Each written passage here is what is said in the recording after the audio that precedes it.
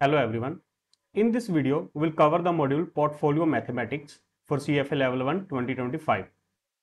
If you are new to the channel, please subscribe and share this video so that other candidates can also benefit from it. In the description box, you will find a link to join my Telegram group. You can share your doubts there and I will make sure to solve them. Let's get going. So there are three learning outcome statements in this module We'll cover them one by one. Calculate and interpret the expected value, variance, standard deviation, covariances and correlations of portfolio returns.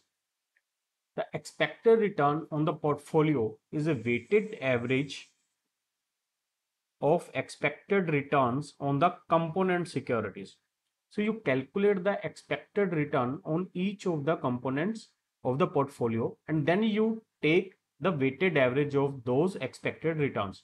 So that will become your expected return of portfolio. So let's say we have R1 to Rn assets with weights W1 to Wn.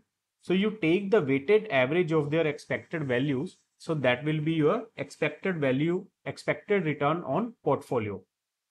Similarly, the variance of the portfolio return sigma square Rp is the expected value of deviations of the returns from the expected returns. When we are talking about two random variables, the covariance of two variables, covariance of Ri and Rj is the expected value of cross product of their deviations. The covariance between two random variables is the probability weighted average of the cross products of each random variable's deviation from its own expected value. This measure is the population covariance and it's forward looking. So this covariance is the population covariance that means the true covariance it is not calculated from the sample. It is the true covariance of the population. And it is a forward looking concept.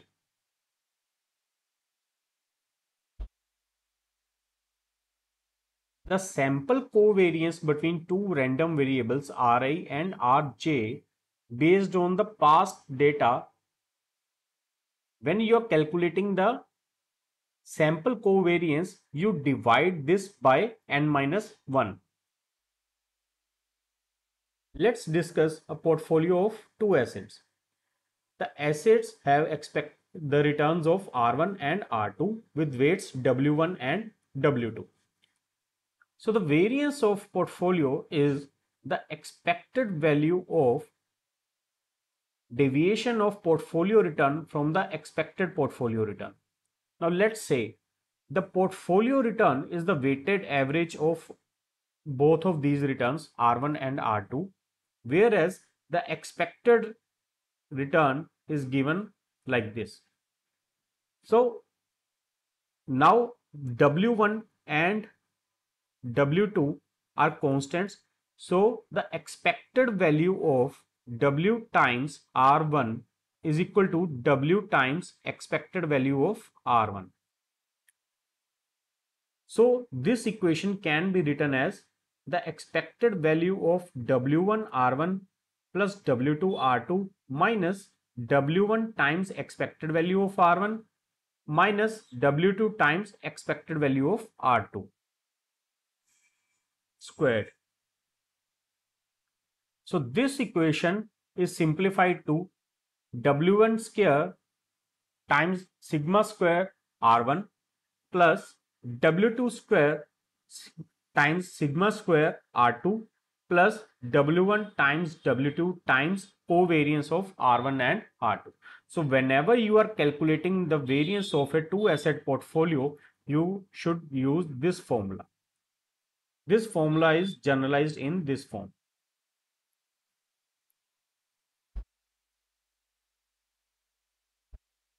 The covariance term, it captures how the co movements of returns affect aggregate portfolio variance. There are two essential observations. First of all, let's discuss the sign of covariance. When the covariance of returns is negative, it means that the return on one asset is above its expected value and the return on other asset tends to be below its expected value. That means an inverse relationship between returns of the components. A covariance of 0, it means that the returns on the assets are unrelated. The covariance of returns is positive when the returns on both the assets tend to be on the same side that is above or below their expected values at the same time. It depicts a positive relationship between returns. Now for the same expected return, a negative covariance reduces the portfolio risk. This risk reduction is a diversification benefit. The diversification benefit increases as the covariance decreases. So as covariance decreases, the overall portfolio risk reduces. So greater diversification benefit. Let's discuss the correlation. Correlation is simply covariance divided by the standard deviation of individual components. So for a two asset portfolio of Ri and Rj, the correlation of Ri and Rj is equal to covariance of Ri and Rj divided by standard deviation of Ri times standard deviation of Rj. If two variables have a strong positive linear relation, their correlation will be closer to plus 1. If two variables have a strong negative linear relation, their correlation will be close to minus 1. And if two variables have a weak linear relation, their correlation will be close to 0.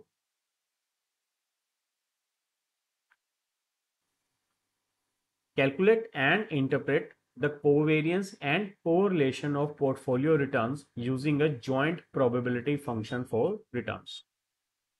The joint probability function of two random variables x and y denoted pxy gives the probability of joint occurrence of values of x and y. For example, px equals to 3 y equals to 2 is the probability that x equals 3 and y equals to 2. You should focus on this and that both of these conditions are true. So that is the joint probability. Formula for computing the covariance between random variables Ra and Rb using the co-probability, the joint probability, the formula is given here. I'll explain this formula using an example soon. The expected value of the product of uncorrelated random variables is simply the product of their expected values. That means E expected value of x times y is equal to expected value of x times expected value of y only if x and y are uncorrelated. There is no correlation between x and y. So let's say we have an example where there are two assets A and B with returns RA and RB. So these are different scenarios. In the first scenario, let's say the return of RA is 25% and return on asset B is 20% and the probability of this event happening is 0.2. So this here is the probability of scenarios. Similarly, for scenario 2, with probability 0.5, the return on asset A is 12% and return on asset B is 16%. Similarly, with probability 0.3, return on asset A is equal to 10% and return on asset B is equal to 10%. We can calculate the expected return on RA as the probability weighted average of all these three returns. 25%, 12% and 10%. So it comes at 14%. Similarly, the expected return for asset B is 15%. Now let's calculate the covariance of asset A and asset B.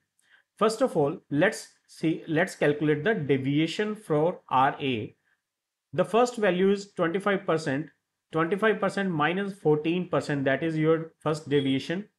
Similarly, we calculate all the deviations under these three scenarios for asset A and then for asset B. Then we take their cross product. 25 minus 14 is equal to 11. 20 minus 15 is equal to 5 and their cross product is 55. This column here gives the probability of all these three scenarios. Scenario 1 has a probability of 0.2, scenario 2 has a probability of 0.5 and scenario 3 has a probability of 0.3. Then we take the weighted product probability times the product. It's 11, 0.20 times 55, 11, 0.5 times negative 2, negative 1, 0.3 times 20, 6. So the sum of all these three numbers is the covariance. Now if you check this formula, this will make sense now. You take a probability weighted average of all the deviations for asset A and asset B and then you add these terms. So that will be your covariance using the joint probability of asset A and asset B.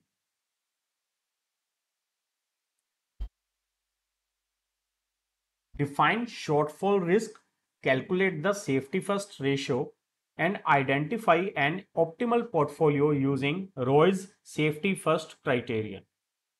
Let's see first of all what is a shortfall risk.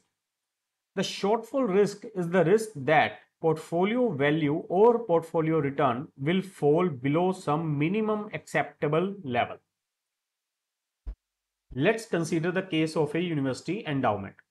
The endowment has a target of real rate of return of 5%. So we add inflation to it. Let's say inflation is 4%. So the target is 9%. So any return below 9% is a shortfall risk for the endowment. The risk that the assets in a defined benefit plan will fall below plan liabilities is also an example of a shortfall risk. Now let's say, suppose an investor views any return below the level of RL as unacceptable. So RL here is our target return.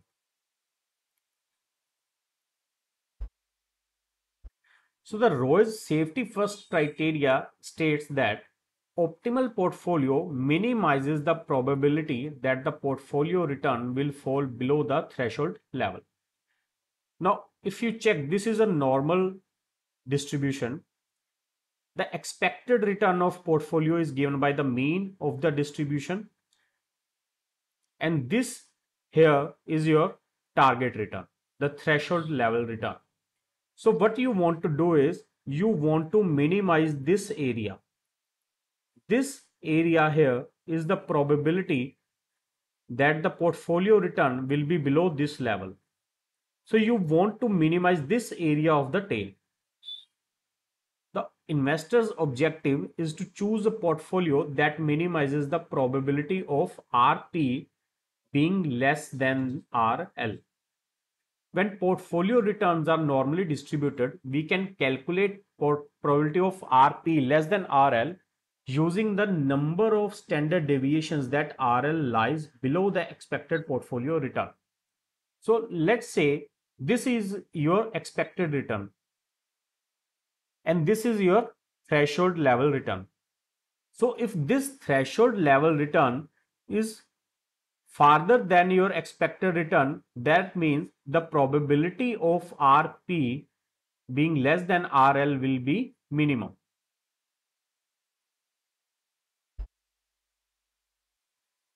So this is calculated using the safety first ratio. The safety first ratio is the difference of expected portfolio return with the target return and divided by the standard deviation of portfolio.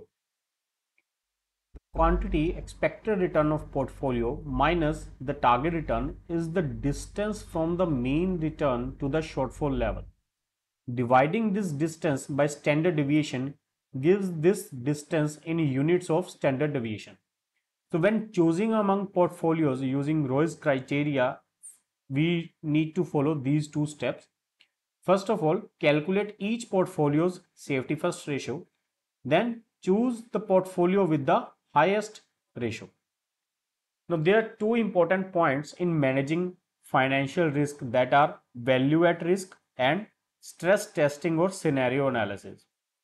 The stress testing and scenario analysis, it refers to a set of techniques for estimating losses in extremely unfavorable combinations of events or scenarios. So the scenarios could be hypothetical scenario or the historical scenarios like like testing your portfolio in some hypothetical scenario to test how your portfolio works in this particular type of situation. The value at risk is a money measure of the minimum value of losses expected over a specified time period at a given level of probability. So this is the minimum loss that your portfolio can incur with the specified probability and a specified time period. So this is it for this module. I hope you liked the video. Please subscribe and share this video so that other candidates can also benefit from it. I'll see you in the next video. Thank you very much.